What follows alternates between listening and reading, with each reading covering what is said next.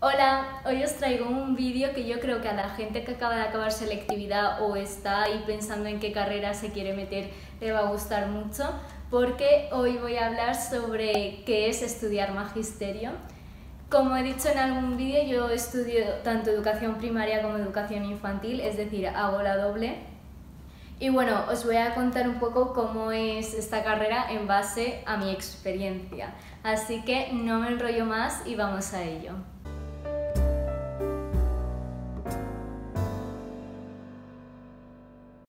Vale, primero aclarar que me he apuntado todo en esta libreta para que no se me escape nada y para un poco abordar todos los temas que me parecen interesantes.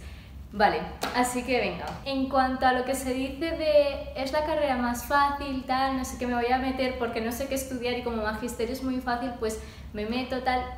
No.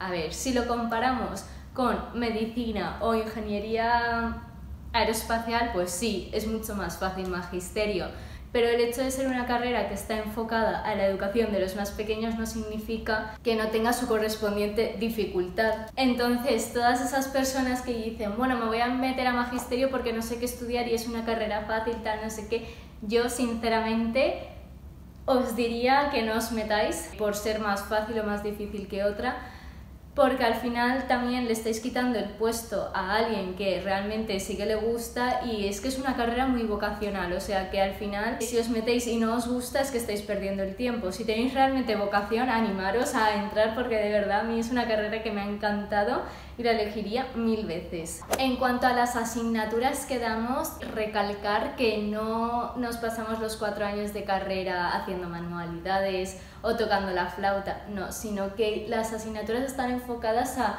cómo enseñar, pues por ejemplo, matemáticas o música. Así que es verdad que, por ejemplo, en primero de carrera en música, bueno, en didáctica de la música toque la flauta, pero por ejemplo en didáctica de matemáticas no me han enseñado otra vez cómo sumar 2 más 2 o lo que es 2 por 2, nada de eso. O sea, no volvemos a dar los contenidos que dimos en primaria, sino que está enfocado a cómo enseñar esos contenidos.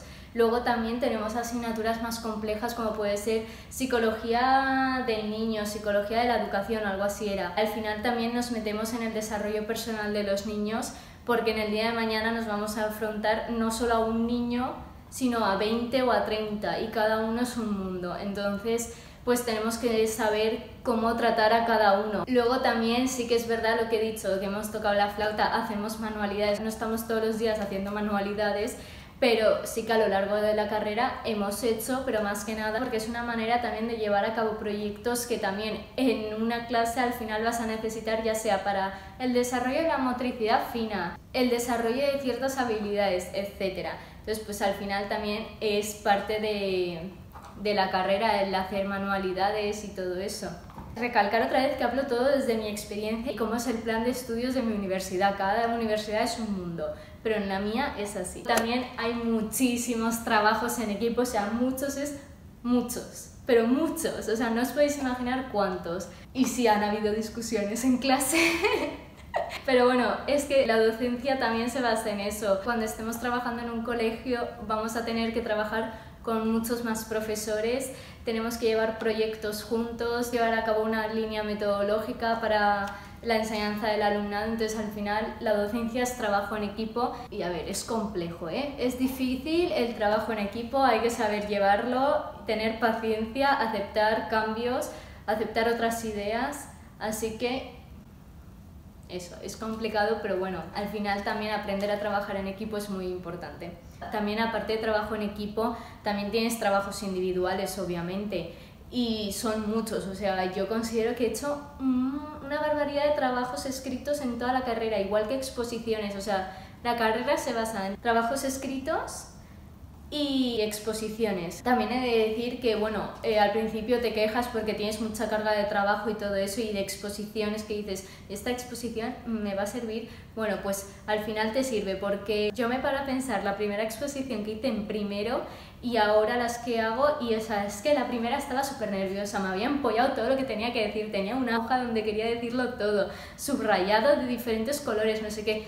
Estaba súper nerviosa, sudando un montón y ahora eh, me veo en las últimas exposiciones y es que algunas ni me las he preparado, o sea, he preparado el PowerPoint y ya está, o sea, he aprendido a hablar en público que luego como futura docente es muy importante porque, bueno, no es lo mismo exponer un temario, por ejemplo, delante de todos tus compañeros de clase que dar clase a 20 niños. Pero al final también eh, tienes que hablar delante de un público, tenga la edad que tenga, y ya sea como docente, como persona, es muy importante saber hablar en público. Lo que piensas que durante la carrera es una pesadez al final se agradece porque te hace abrir los ojos a la realidad. Luego, en cuanto a exámenes, sí que es verdad que no tenemos exámenes, al menos en mi universidad.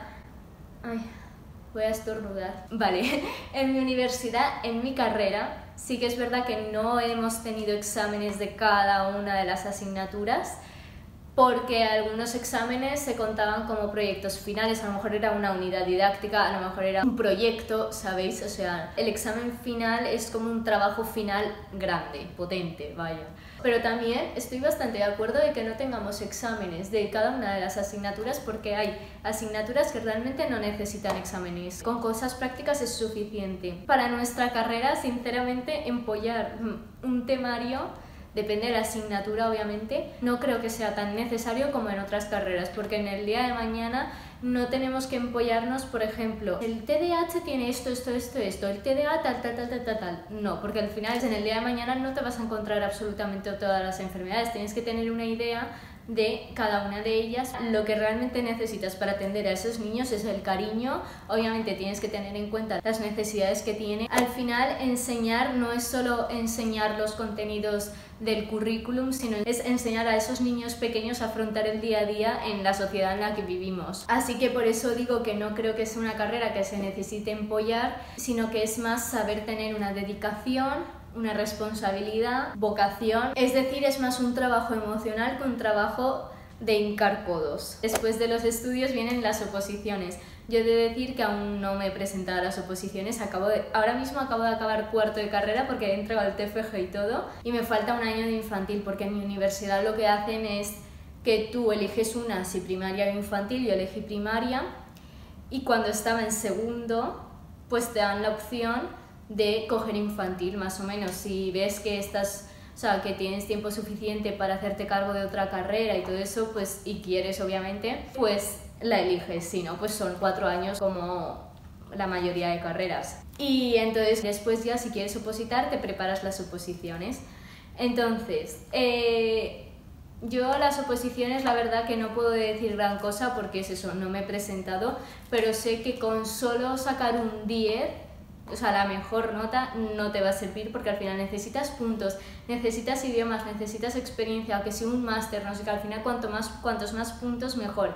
Y también somos tanta gente que estudiamos magisterio, que es verdad que ofertan muchas plazas y todo eso, pero somos tanta gente que si tú no llamas la atención con tu programación o con actividades innovadoras y todo eso, por mucho que saques un 10 en el trabajo escrito, es que no vas a ninguna parte, igual que si no tienes puntos. O sea, al final todo es una suma que tienes que ir avanzando poco a poco y, e ir adelantando. O sea, esto al final es como todo una competencia. Luego los típicos comentarios de, ay, es que os sentáis y dejáis a los niños dibujar o estáis cantando. O bueno, es que enseñar a sumar y restar yo también sé.